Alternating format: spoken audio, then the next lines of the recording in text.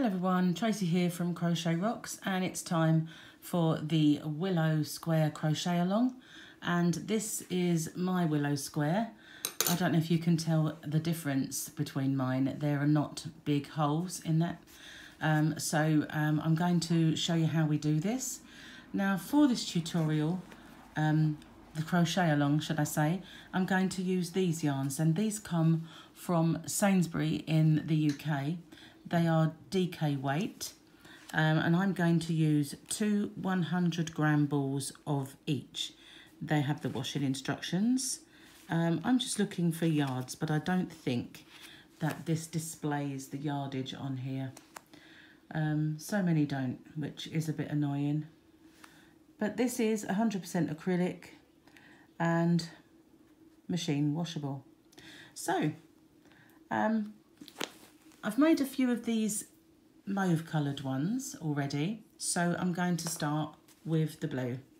And uh, I'm going to do this particular part one, um, showing you how to make the square in two parts because there are there are two where's the end there are two quite distinctive parts to this um, granny square and um,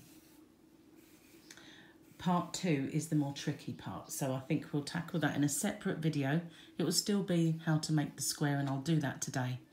Um, but for this tutorial, as I say, we're going to make it in these two colours. I've got two 100 gram skeins of this. I'm making this cot size and I also have um, some of this. I have two balls, but I think I shall only need one white. So, um, first part of this um, is actually quite simple. Now you just make your slip knot however you want to make your slip knot, but I do have a tutorial which is how to make the um, an easy version of the magic ring, magic circle, magic loop, whatever you want to call it, and the slip knot. So once we've got our slip knot, we will chain five. Now this tutorial is not for the beginner. So if you want to familiarise yourself with the stitches involved in this tutorial, which are chains, slip stitch, and a treble crochet in the UK terms, which is a double crochet in the US. So once we have five chain, we can slip stitch to form the ring. So there we are, and we'll chain two just to get up to the height of a treble crochet.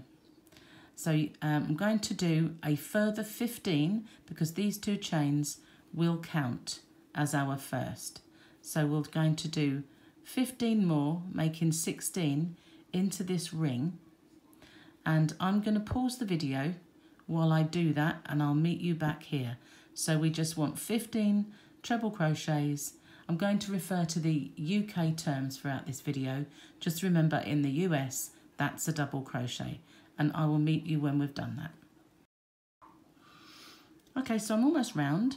I have two more to do, but I just need to pull this aside to do them. And that's fine. I've crocheted over my tail as I've, uh, as I've gone, which is good, so I don't have to do that. So now we're at the end, we're just going to slip stitch into the top of our first two turning chain. If I get this tail out of the way, and just slip stitch into there.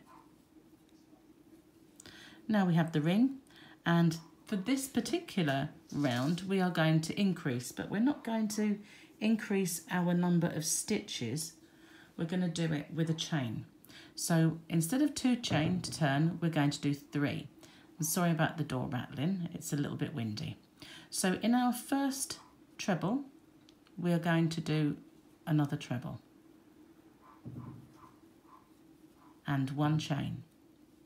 And then into the next stitch, one treble and one chain. And we're going to do that in every stitch around repeating one treble in the next stitch and one chain. So I'm going to pause the video again and I will meet you back around there. So remember at the end of that row you still want to have um, 16 stitches including the two turning chain so I've now made my way all the way around and if you want to count them and gently pull them out so that they don't look like a wheel. I've done that already and I do have 16 and I've finished with my one chain. So I'm going to slip stitch into the second chain of those first three chain. And that's um, formed my ring again. So now you've got this. And now this next round, again, we're going to increase, but this time with treble crochet, just pulling out some yarn. So our first stitch is our two turning chain. And then in each of our gaps, we're going to do two treble crochet in just into the gap. And then we're going to do one into the stitch. So you might want to pull that aside and find that stitch. Sorry, knock the camera. I'm resting on the yarn. Sorry, let's pull some more out. Okay, so every gap, two treble crochets into the gap and then one into the actual stitch. And we're going to do that all the way around. So for now, we are still working in the round. I'm just going to carry on all the way around. So I'm going to pause the video and again, I will meet you back at the start. So I'm nearly back at the start again, um, just to check. Yes, I did do my one stitch into the post, which we must never forget.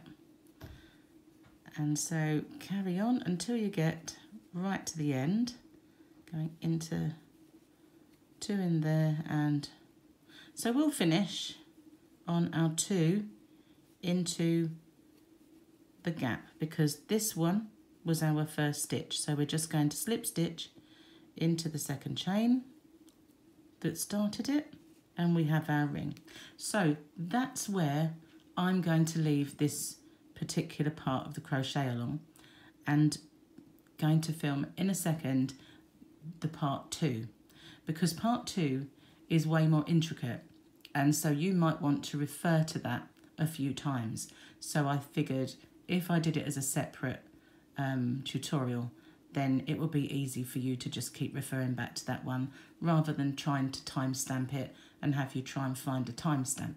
So that's how we make the circular part of the uh, willow square. So I'm just going to um, say bye-bye for now. If you haven't already, don't forget to subscribe and click on the notification bell so that you'll receive notifications of the next parts of our crochet along and all the other um, giveaways and tutorials and chats, live broadcasts, everything.